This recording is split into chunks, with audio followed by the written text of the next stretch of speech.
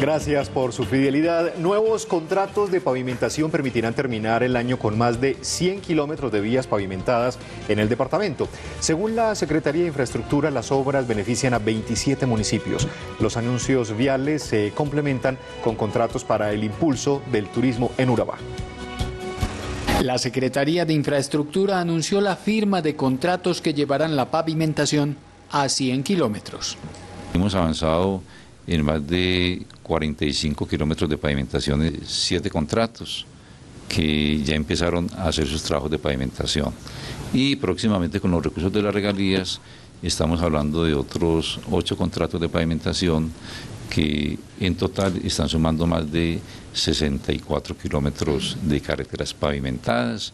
Las obras incluyen infraestructura para el turismo en Urabá. En el municipio de Turbo eh, se está trabajando en el desarrollo de un malecón que tiene cerca de un kilómetro. Ya los recursos pues obviamente están dispuestos. El departamento está apropiando cerca de 5 mil millones de pesos. El secretario reveló que Invía se comprometió a reparar el puente en San Carlos.